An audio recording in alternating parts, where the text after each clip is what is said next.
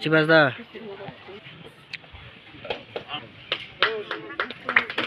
শ্ৰী ৰাভা দ্বিতীয়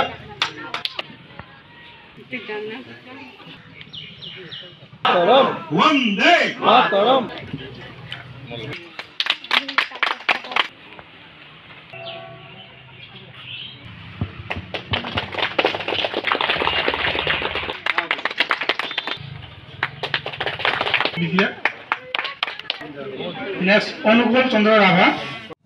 ছাত্ৰ সংগঠনৰ পৰা আহি ভাৰতীয় জনতা পাৰ্টীৰ নীতি আদৰ্শ চাই নৰেন্দ্ৰ মোদীৰ শাসনত অনুপ্ৰাণিত হৈ আজি ভাৰতীয় জনতা পাৰ্টীত টোটেল সাতচল্লিছজন ফৰ্টি ছেভেনজন সদস্য সদস্য যোগদান কৰিলে। আৰু আমি ভাৰতীয় জনতা পাৰ্টী গুমমলৰ তৰফ হৈ পেলাই সকলো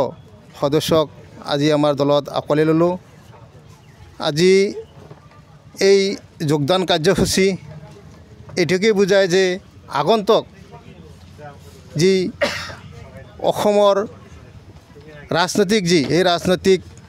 যে বি টি চিত এক আমূল পৰিৱৰ্তন হৈ আছে